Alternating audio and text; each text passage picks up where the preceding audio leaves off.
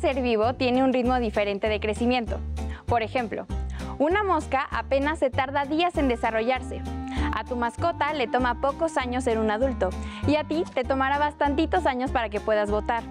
Pues resulta que para algunos insectos este cambio puede ser muy radical y se conoce como metamorfosis, del griego meta, cambio, y morfe, forma, o sea, un cambio de forma. Este tipo de transformación también le pasa a crustáceos, moluscos, equinodermos, nidarios, tunícados y anfibios, pero a los insectos les sucede de dos maneras. La metamorfosis simple o hemimetabolismo, en la que los bebés insectos parecen versiones minis de su forma adulta, y la metamorfosis completa u holometabolismo, en la que hay un estado de larva, se hacen capullos y renacen como nuevos.